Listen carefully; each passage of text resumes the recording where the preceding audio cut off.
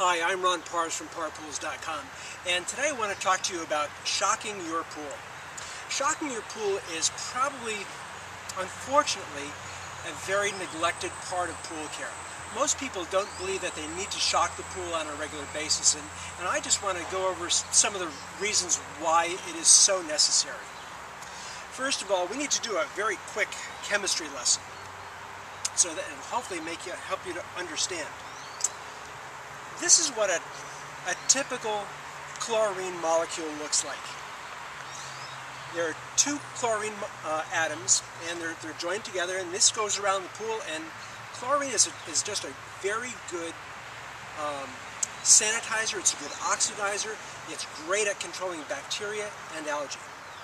But the problem comes when there is waste in the pool.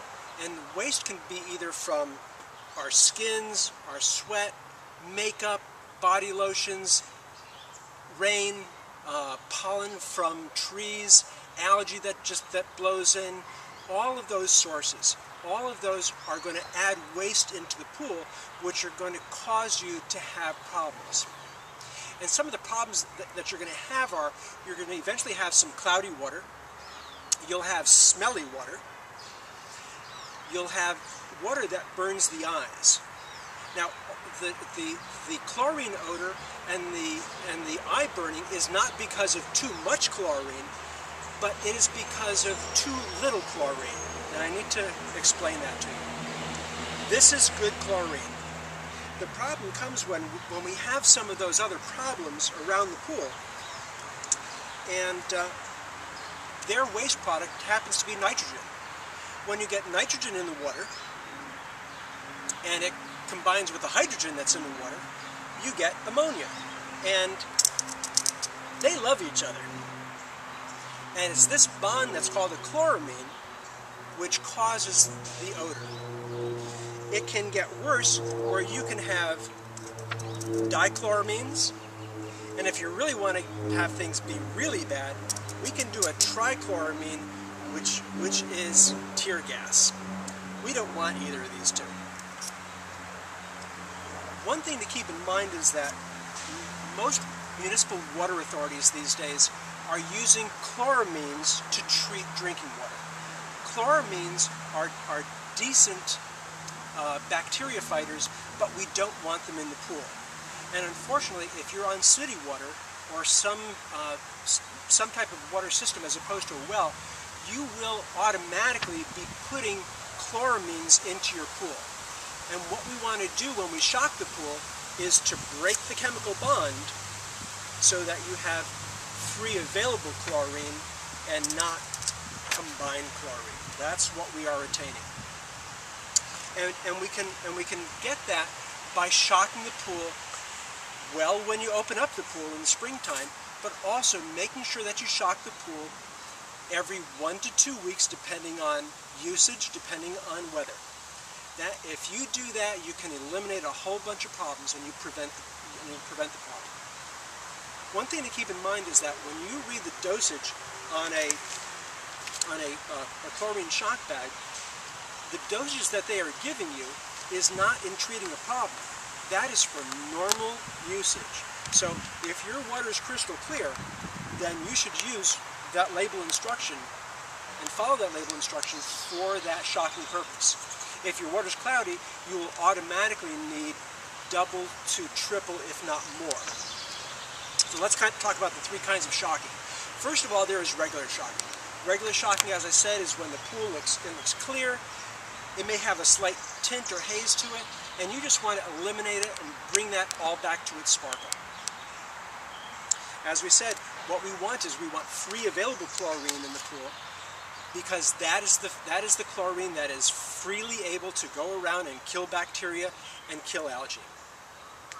Typically, you use about one pound of a calcium hypochlorite type of type of product, such as burnout, per 10,000 gallons.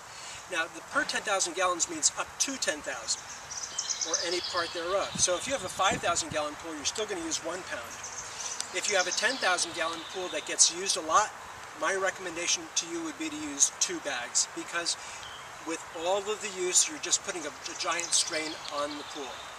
If you have an 11,000 gallon pool, by all means use two. You can't overshock the pool. The next problem, the next type of shocking that we want to deal with is called breakpoint chlorination. And breakpoint chlorination is when you begin to have this ongoing problem, where you cannot break up the amount of chloramines that are in the pool. And your pool may have some of these floating around, and it may have a whole bunch of these floating around. And what we want to do is we want to eliminate all of the nitrogen. We want to eliminate all the waste. Normally, when you're reaching, when you're trying to reach breakpoint chlorination, you want to find out what the difference is between the total amount of chlorine in the water and what the free available chlorine is in the water. After you've determined that, then you can properly add the correct amount of shock to reach that breakpoint chlorination. So for, for example, let's say that you had uh, 2.0 part per million of total chlorine. And you had, when you did your test, then you found that you had one part per million of free available chlorine. That's a difference of one part per million. In order to break that bond, you need to bring the chlorine level up 10 times in order to break that bond. If the total, if the total chlorine level was at, let's say, 3 part per million and you had 1, you would be at, you would need to break up 20 part per million. So that's what is necessary. And when you're doing breakpoint chlorination, you do it all or you don't do it at all. You have to accomplish the breakpoint all in one shot. It's kind of like trying to jump the Grand Canyon. You have one chance to do it. You cannot hop and skip over the Grand Canyon. It all has to be done once. And whether you miss by two feet, half mile, or one inch, you still miss. And that is the importance of breakpoint chlorination. The third type of shocking that we want to address is shocking that is trying to cure a chlorine demand. Chlorine demands are becoming more and more prevalent. We see more and more of them every year. And the fact of the matter is we can treat them, plus we can also prevent them. What happens when you have a chlorine demand is that you are putting chlorine into the pool, you are shocking the pool by using quite a bit of chlorine, but it is not breaking it down. And so you add more and more and more and more and more, and you're still not able to maintain a, a, a chlorine residual. In a, in a situation such as that, our recommendation is have a chlorine demand test done. We are able to do that for you. Um, no matter where you live in the United States, get us a sample, we're happy to do that. The good thing about finding out what the actual chlorine demand is, is that when you have a chlorine demand and you know what the exact number is, you can go in and treat it. If you do not treat it, you will actually make the chlorine demand worse. For example, last year we had a customer that uh, at one they had a very large pool and they thought by shocking the pool with about 15 pounds of, of shock it was going to take care of that problem. In actuality, the problem was made worse. And when we did a chlorine demand test, we found out that the pool needed 27 pounds of chlorine to break that demand. The good news for that customer was, as soon as the chlorine demand was broken, it was done, taken care of, the water went back to being crystal clear, and they were able to maintain chlorine for the rest of the summer. And that's why it's necessary to shock the pool every week, shock it when you are closing it, shock it when you uh, are opening it, and shock it well. A couple of things just to remember. When you are shocking the pool, if you, if you are using a solar blanket or any type of uh, automatic cover, remove the blanket or the cover from the pool. If you shock the pool and leave the blanket on, you will trap everything that you are trying to gas off from escaping.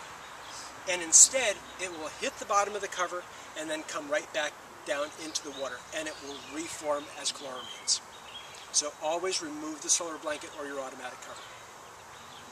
Second thing to keep in mind, like I said before, you cannot overshock your pool. So if you're shocking it every two weeks, go, that is fine. Don't worry about that. In fact, what we'd recommend to you is that if you know that you're going to have, for example, if you know you're going to have a party, shock the pool the night before the party and then shock it immediately after the party. That way you can maintain a good solid chlorine level. A couple of other products to keep in mind. Shocking is not always done with, with chlorine. If you're using pristine blue, you can use pristine power, which is a monopersulfate shock. Monopersulfate shocks are good in helping to break this up, but you always want to have some type of chlorine residual. And for that reason, Pristine Extra does a great job, and our recommendation is once a month to shock it using Pristine Extra. If you're using a biguanide product, such as uh, Soft Swim or Baquacil, make sure that you are shocking the pool about every three weeks. One of the problems with a biguanide pool is that because the water typically stays pretty good for a longer period of time, most customers, when they're supposed to shock the pool, take a look at the water and say, it still looks good, I don't have to shock it. And then they will forego that for a week. And in that week's time, there's a lot of extra usage or there's rain. And within, within a, a very short period of time, the water becomes cloudy and it becomes unmanageable. So you always want to shock the pool. Those are the uh, questions and answers of why to shock the pool. If you have any questions, please email us at techhelp at parpools.com or you can also visit us at parpools.com forward slash pool care for more information and useful brochures. Thanks. Enjoy the pool.